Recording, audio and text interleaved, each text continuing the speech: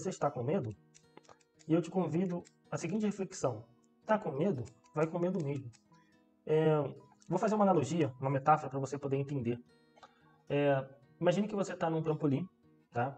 E esse trampolim é bem alto, e lá embaixo está tá a piscina.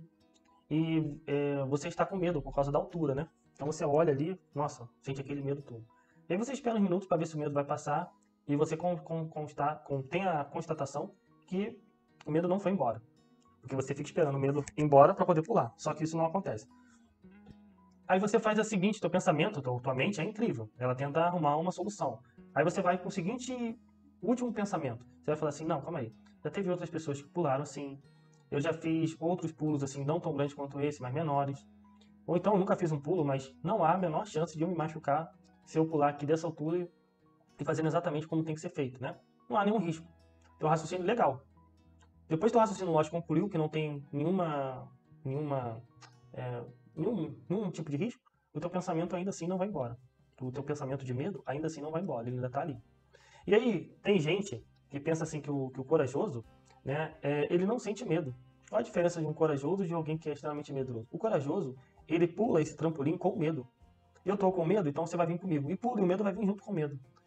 Isso vem não estou dizendo que o medo ele não seja importante. O medo ele evita perigo, nos ajuda em várias situações. Mas um ponto que você tem que entender é o seguinte: é fazer as coisas apesar do medo. É uma decisão, é uma determinação. Não espere que a situação de repente esteja favorável ou que o medo vá embora para você poder ter uma determinada atitude. Você tem que agir por decisão, com medo e tudo.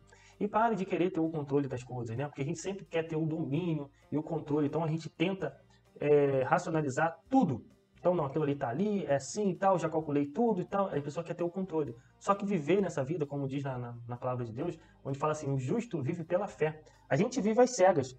Na confiança de, em Jesus Cristo, a gente vai andando. Na confiança, na tranquilidade, né? Sem andar ansioso com coisa alguma. E automaticamente o caminho vai é, sendo construído na sua frente.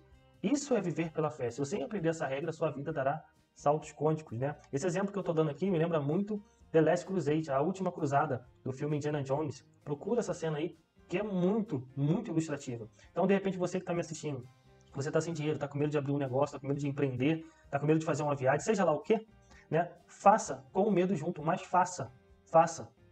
Mas faça com fé, com fé em Deus, mas faça, faça tudo o que for necessário. Porque automaticamente, se você confiar 100% mesmo em Deus, Deus, o caminho vai sendo construído na sua frente. Até aquilo que aparentemente era um obstáculo ou apareceu para te derrubar, vai servir como crescimento como experiência. Vai servir como trampolim para te catapultar para frente. Veja as coisas desse ângulo e a sua vida vai se transformar, tenho certeza.